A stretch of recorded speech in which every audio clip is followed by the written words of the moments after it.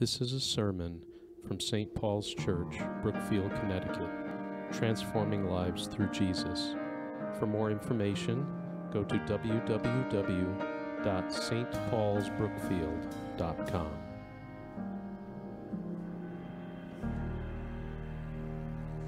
Grace to you and peace from God our Father and the Lord Jesus Christ. Please be seated.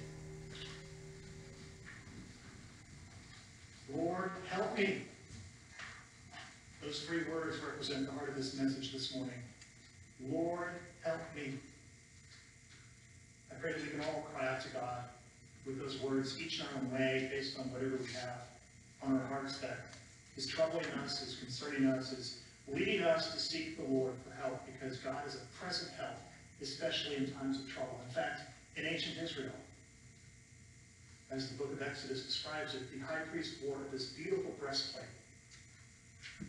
with 12 different stones on it, each representing the tribes of Israel. And that symbolic breastplate, the priest carried on his heart the people, including their cries and their needs and their longings for God's help. Lord, help me. That's what the breastplate signifies, that God is present to help. And the people believed that one day God would send a Messiah. God would come among them to save them. And Isaiah the prophet put it beautifully in chapter 40, verse 11, when he described it like this. He, that is the Messiah, will tend his flock like a shepherd. He will gather up the little lambs in his arms and hold them on his heart. And he will lead those with young. This means that God cares about you and your young ones. When we say, Lord, help me, sometimes we're crying out for ourselves, but very often it's about those in our lives that we're concerned about, including our children, perhaps. And the message is that God cares. And God has come among us to be with us in our struggles, in our pains, in our longings, and to lead us into salvation, into healing. This is why the letter to the Hebrews says this, that Jesus has become our great high priest. He has passed into the heavens, and so we can approach God with faith and boldness and deep, deep love, knowing that we have access to the Father through the Son and the power of the Holy Spirit. Jesus described himself as the good shepherd, and he said, I have sheep that are not of this fold. I must bring them. Isn't that beautiful? That God's Messiah came to the lost sheep of the house of Israel and has come to the whole world to bring the lost sheep from all over the world, throughout all creation, into his loving eternal care. Lord, help me. That is essentially what it sounds like to be a person of faith, right?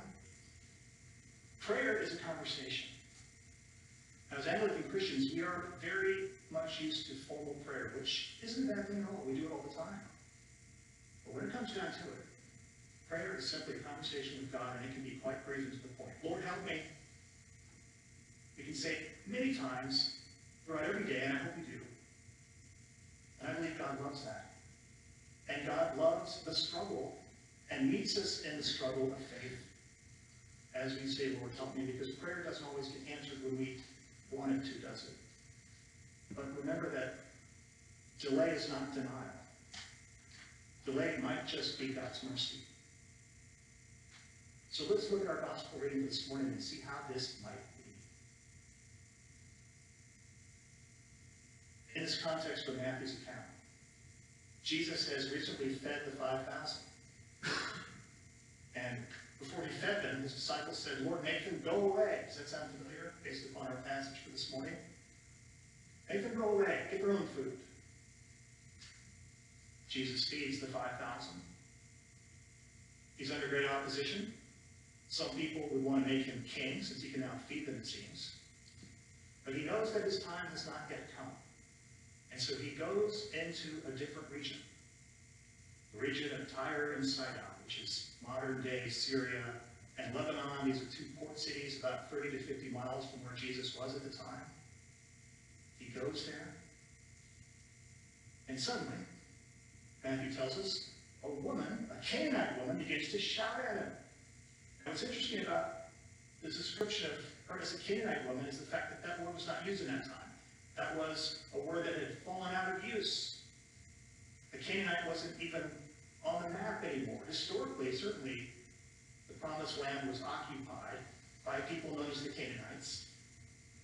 As God's people entered the Promised Land, they were in conflict with the Canaanites and continue to be throughout many, many years, even up until the time of Jesus. But they weren't called Canaanites anymore.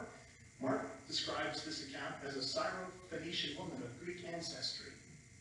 That's more accurate. But why would Matthew describe her as a Canaanite woman? Because he's trying to make the point to his Jewish audience that those that were so far outside of God's reach, it would seem, might just be brought near. I have sheep that are not of this fold, our Lord said. I must bring them. But at this point, we don't know what's going to happen. All we know is as a Canaanite woman, shouting at Jesus, a rabbi, outside in the street for others to hear, and with a woman with a daughter who's demon possessed, she was representing everything that one would want to avoid. And so Jesus does it. Seems at first. She says, Lord, son of David, have mercy on me, for my daughter is tormented by a demon. Matthew tells us Jesus did not answer her. Does that surprise you? That our Lord, full of compassion and grace, would not answer this woman in distress? The disciples are watching, and so they say to Jesus, Tell her to go away. She keeps shouting at us. Now, they've seen Jesus heal people before. We don't know what was going on in their minds exactly, but perhaps they wanted her healed so she would move on like the rest of the crowds that would constantly press upon our Lord Jesus. Or perhaps they had their own sense of exclusion based upon how they had been brought up, which was to say that a Canaanite woman shouting in the street at our rabbi with a daughter who's unclean, make her go away, Lord. We're not supposed to be around people like this, nor are you. Jesus, again, seemingly ignoring the woman, looks at the disciples and says, I was sent only to the lost sheep of the house of Israel. Indeed, that is why the Messiah came. To save and to seek the lost. Beginning with Israel. But as we see, expanding to the nations. For I will give you as a light to the nations, Isaiah prophesied. So what happens next? This woman in three words as she kneels before Jesus. Lord, help me. Now she shows her faith in the fact that she referred to him with the messianic title. Lord, son of David. That's how she first approached him with her shouting. We've seen others do this in the Bible, like Bartimaeus on the roadside outside of Jericho, who couldn't see but knew it was Jesus. He said, Lord, son of David, have mercy on me. This is to acknowledge that this is God's Messiah, this is God's King who's come into the world. And she's exercising faith by acknowledging who he is, but even more so by kneeling before him and saying, Lord, help me.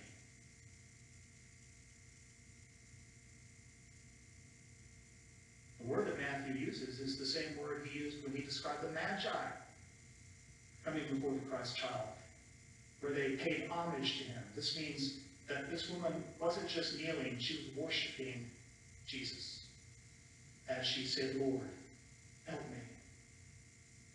Notice the absence of pride, self-righteousness, self-reliance at this point. She's kneeling in the dirt, saying, Lord, help me. Now we think at this point, perhaps Jesus would start to show what we think is compassion. Up until this point, he has not answered her. He's been talking only to the disciples. She's watching. And he says, it's not fair to take the children's food and give it to the dogs. Now, we might rightfully be confused by this exchange. But again, let's look at the context. The children's food, remember Jesus has fed the 5,000.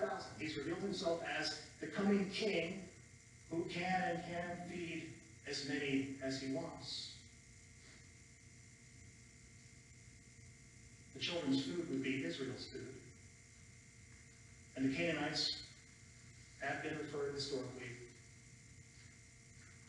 as a subset of humanity, as dogs, if you will. And yet the word dog, as it's translated, sounds like a dog, but what it really means is a little puppy, a domestic animal that would, in that culture, maybe like a Hoover vac, take up all the crumbs under the table. Maybe you've had a dog like that. They're quite useful.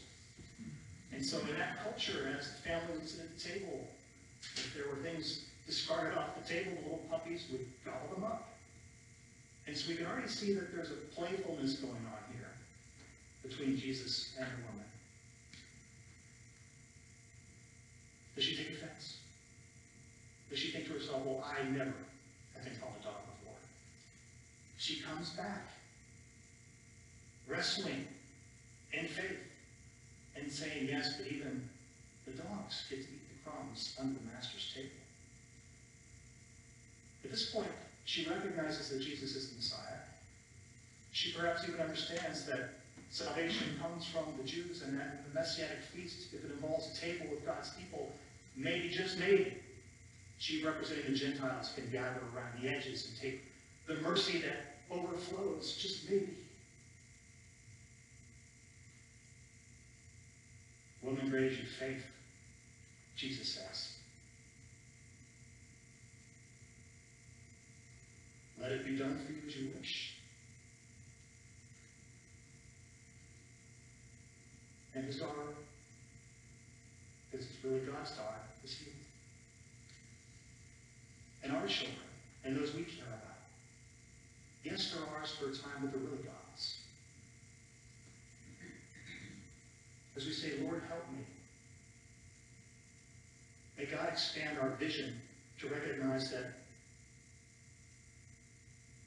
God is our Father, that he loves us with an everlasting love and has sent his Son to heal us and save us through the power of his Spirit, and that whatever we carry on our hearts as burdens, we take before the Lord. We give over to the Lord that which is his to begin with. And we say, Lord, help me. Help me release it to you. Help me in my struggle, Lord. And perhaps we say, help me with my lack of faith. And that's an honest approach before the Lord who can handle it. And so God's seeming delay is often his mercy, not a denial of an answered prayer. And many of us have been coming to the throne of grace with boldness about those things in our heart.